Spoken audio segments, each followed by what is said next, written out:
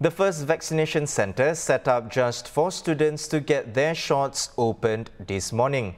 ITE College Central is the first of four dedicated MOE vaccination centres that is now up and running. The next three will be progressively opened in the coming days. The first batch of eligible students includes those who are part of the graduating cohort from secondary schools and pre-university levels. So far, almost 9 in 10 from graduating cohorts have signed up and half of them have received their first jabs. And according to Education Minister Chan Chun Sing, from tomorrow, students in autonomous universities will begin receiving invitations to get vaccinated.